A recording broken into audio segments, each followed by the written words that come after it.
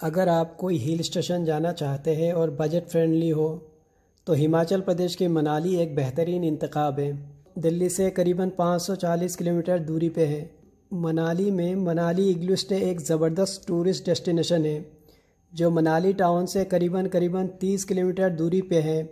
हम तपास की तरफ़ है।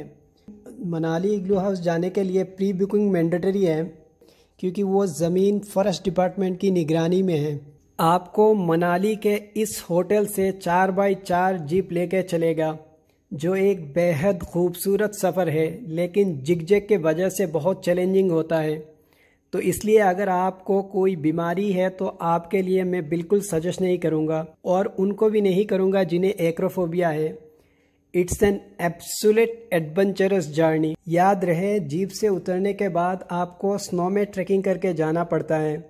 और इसलिए सिर्फ़ ज़रूरी सामान ही साथ लेके आए अगर आप ग्रुप में चले तो आपको फ़ायदा ही फ़ायदा है इस सियाहती मकाम में आपको snowman, tube sliding swing ice skating, igloo making bonfire जैसे एक्टिविटीज़ आप कर सकते हैं the best part is that You would have tea and hot drinks throughout the day.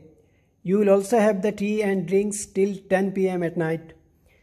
The guide will also help you out in doing ice skating and other activities.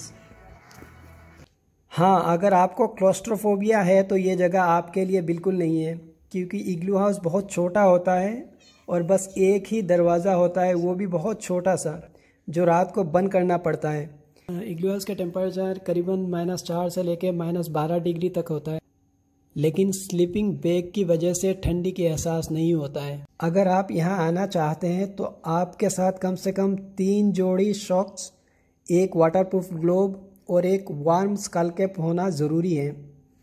एक ज़रूरी बात यह है कि मनाली इग्लू पैकेज में सिर्फ़ इग्लू स्टे और activities का ही है।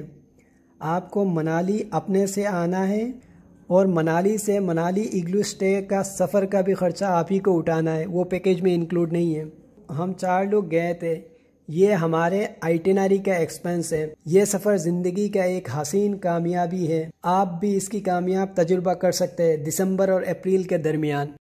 Finally mission accomplished everyone is coming in the frame I guess